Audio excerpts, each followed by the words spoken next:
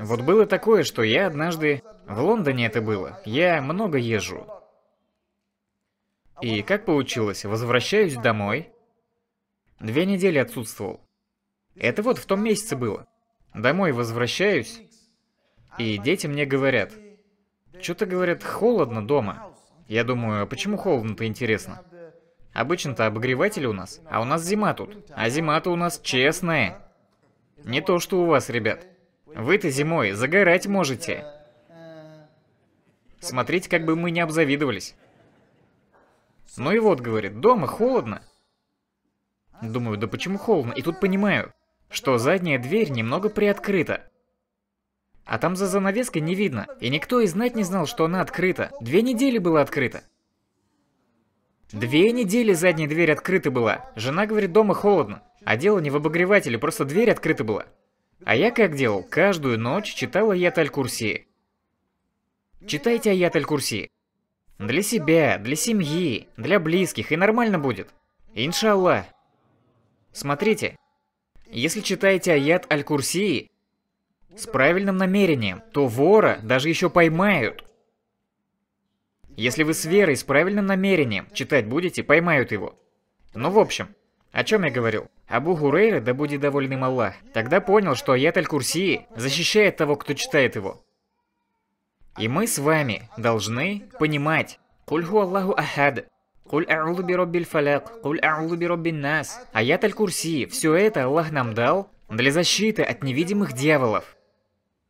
А если кроме этого вы и другие суры Корана читаете регулярно, то дьяволы не смогут находиться рядом с вами. Они не выносят Коран. Это очень сильная защита, которую Аллах нам дал. Если в доме есть какой-то дьявол, шайтан какой-нибудь завелся, и пугает там людей, портит жизнь им. А шайтанов, дьяволов на самом деле много разных может быть. В доме, но не беспокойтесь. Хорошие, добрые джинны тоже в доме бывают. Кто бывает? Ребята, не спим. Так что дай бог, чтоб вы, глядя на своего супруга или супругу, говорили, ты такой хороший джин, машаллах. Такой хороший джин. Так вот, бывают хорошие джинны дома. Бывают и плохие. Но есть способы, как избавляться от плохих джиннов. Хадис из сборника Тирмиди. Посланник Аллаха сказал нам, если вы будете читать суру Бакара, суру Корова, в своем доме, дьявол не сможет там находиться.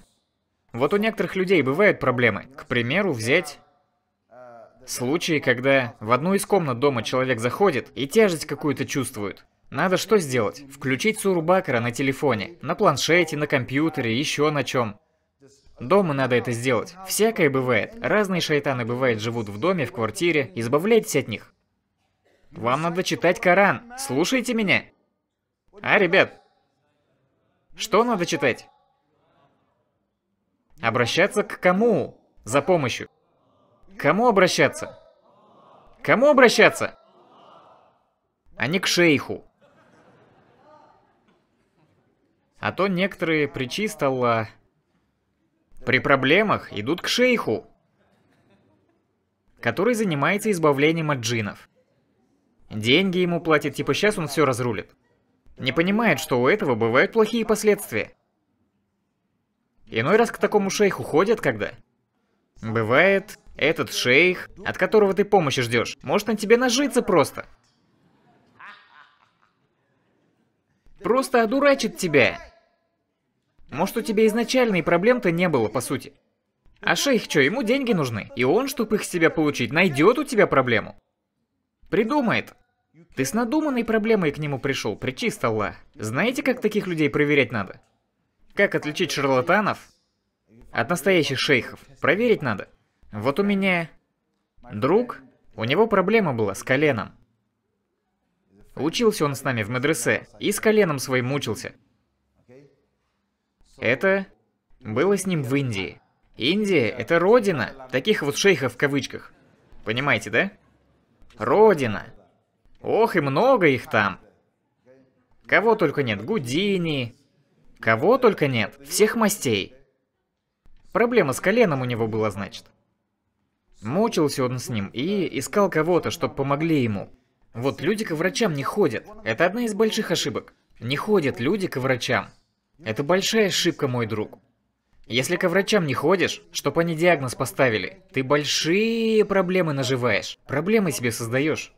Знаю, некоторые физически не могут дойти до врача, но надо искать способы провериться, чтобы диагноз поставили. Почему? Потому что может быть такое, что у тебя физического характера проблема. Просто с организмом что-то не так. Причисто Аллах, я вот в Лондоне тут говорил людям. К истории с коленом я еще вернусь.